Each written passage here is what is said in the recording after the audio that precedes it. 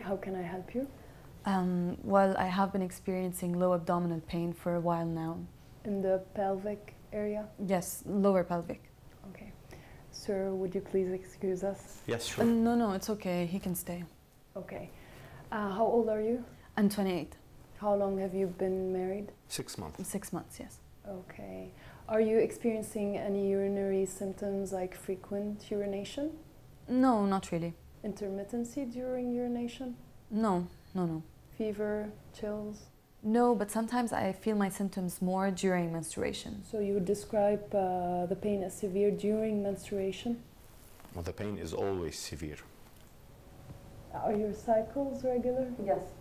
She's always irritated, and sometimes she's depressed. It's quite painful. Sometimes more than other times. Are you experiencing pain during sexual intercourse? She's always irritated. Well, I have been experiencing pain during sexual intercourse since the day I got married. And, well, it's been affecting our relationship.